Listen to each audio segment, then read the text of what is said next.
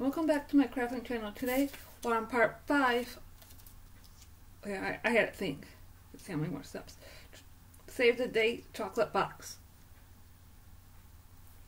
So you'll need I'm making my Sharpie out pencil. I don't think I need my tweezers for this part, so I'm going to put them away. You need white white glue, scrap paper or magazine, which I have been using until I'm done painting the Christmas tree ornament that I have been painting. And that paper will get thrown on use another one. You're going to need white glue, scrap paper, or magazine. Today I'm going to glue, put glue on these two small flaps right here. And then a big black flap on top and let that dry overnight. Now I'll be back for the final part after that completely dries.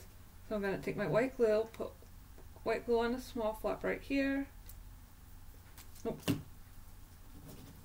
I'm going to take this toothpick to lift up the glue because I don't need to squish out more glue because I, I have more than enough for two flaps. So I'm just going to use that, the toothpick to move some over onto the other side. Push this down onto two small flaps like this. I'm to hold it down. We're done with white glue. We're done with all the chocolatier pieces as of today. I'll be back for the next part of it, and then I'll I'll finish tomorrow. Tomorrow I will not tomorrow, maybe tomorrow or Monday. I'll be working on the heart chocolate, the chocolate lollipop, chocolate tower. Hopefully, I get those two videos. Video, right? The chocolate train save the date chocolate will be done tomorrow or when another day with this last flap and that will be done No, eliminate stuff for the counter, the display cabinet, and a cart. Then when I get all the pieces for this, I'll put do a video, put pieces on here. Same thing as this, which I kind of started a little bit. For the display cabinet. in the cart.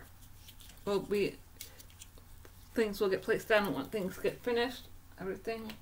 So I try to work on those three and then then I will work on the let's see that should be good for right now for say the chocolate and then for the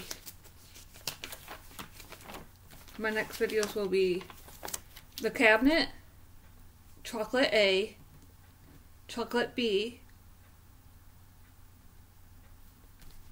chocolate B, chocolate cup, chocolate sauce, gift, circular gift box, gift box, and it goes for certain things when it's time. Um, that's it for the um for the cabinet pieces, which I'll do videos of, which will be probably not for a little while. I'll get to it after I get one of these, one of these filled up, and then I'll show you where they go in the chocolatier, and then I'll get another.